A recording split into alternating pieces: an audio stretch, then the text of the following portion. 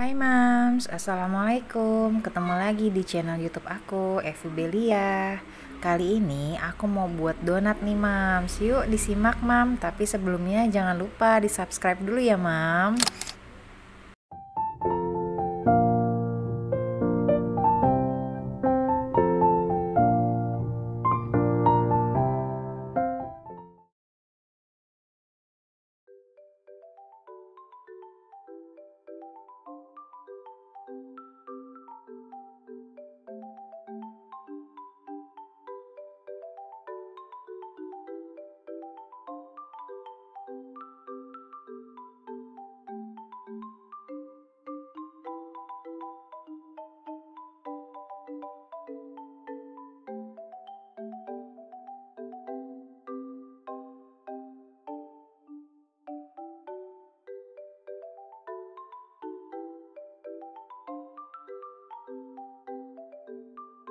Nah, Mam, setelah menyiapkan bahan-bahannya tadi, sekarang kita mulai campur nih Mam bahan-bahannya. Kebetulan sekarang aku mau coba bikin donatnya itu menggunakan chopper.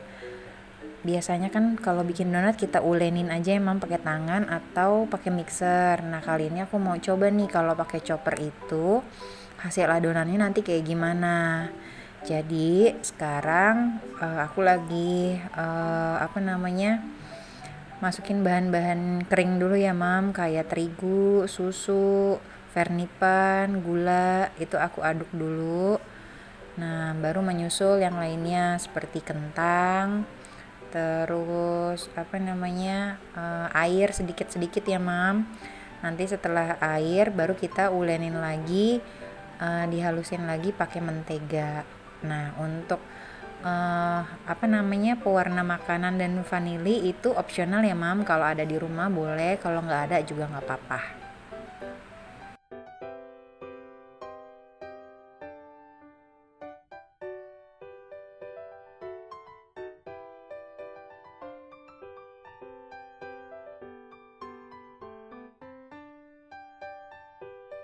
Nah ini nih mam. Adonannya udah jadi. Aduh kayaknya agak lengket ya mam ya.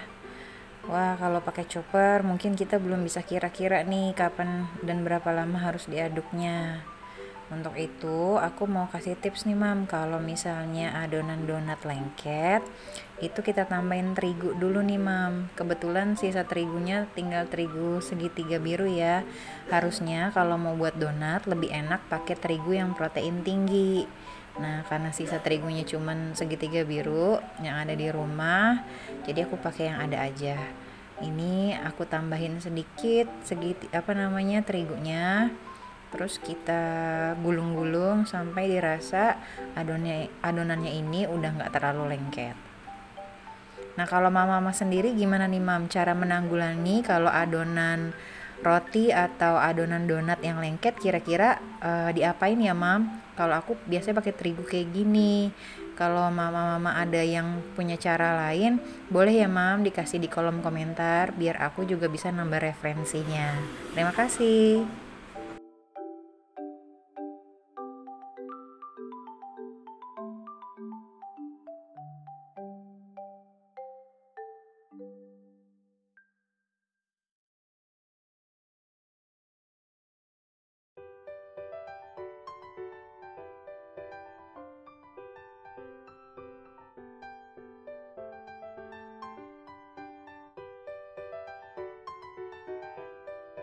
Nah ini kita paruh-paruh ya mam adonannya biar nggak terlalu banyak jadi uh, biar semuanya rata lengketnya jadi berkurang.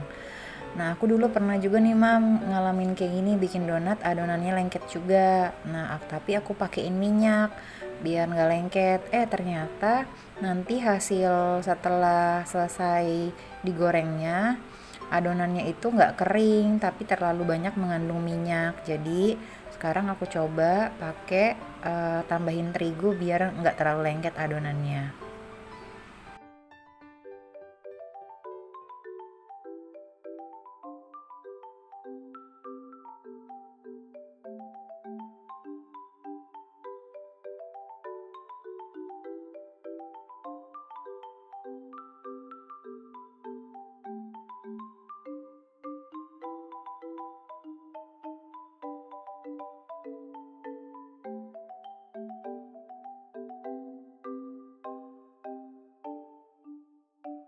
Nah, ini pertamanya uh, minyaknya aku panasin dulu ya, Mam. Setelah dipanasin, langsung dikecilin karena biar uh, adonannya matang sampai ke dalam.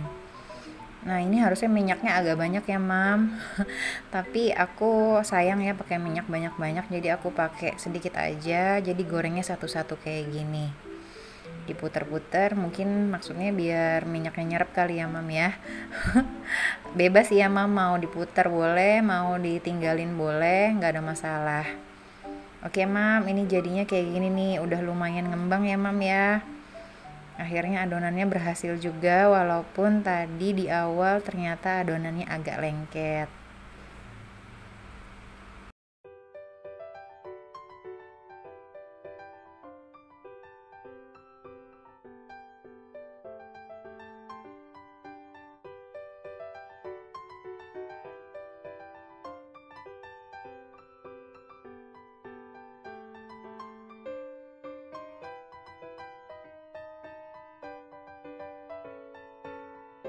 Oh ya mam, tadi satu adonan yang tadi dari bahan-bahan yang aku informasikan tadi itu kita dapat 15 eh 12 sampai 15 potong donat ya mam.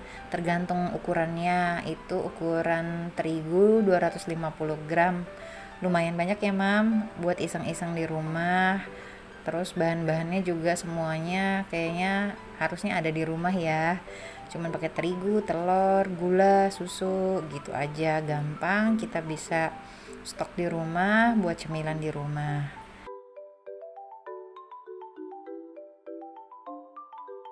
Oh ya mam, bantu komen dong mam, kira-kira ada nggak ya yang bisa buat donat lebih simpel lagi, biar aku juga nanti bisa belajar. Terus jangan lupa ya mam, yang udah subscribe terima kasih banyak sudah bantu subscribe. Buat yang belum aku mohon bantuan subscribe-nya untuk aku bisa lebih semangat lagi buat video-video uh, selanjutnya. Terima kasih semuanya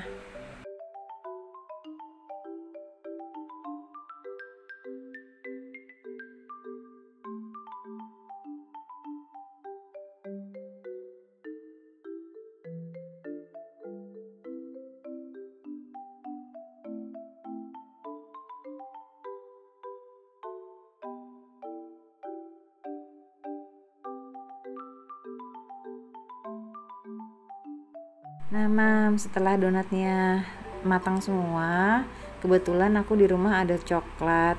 Terus ini aku pakein buat jadi topping donatnya. Nah, kalau di rumah ada gula halus juga boleh banget loh, mam, buat dijadiin toppingnya juga.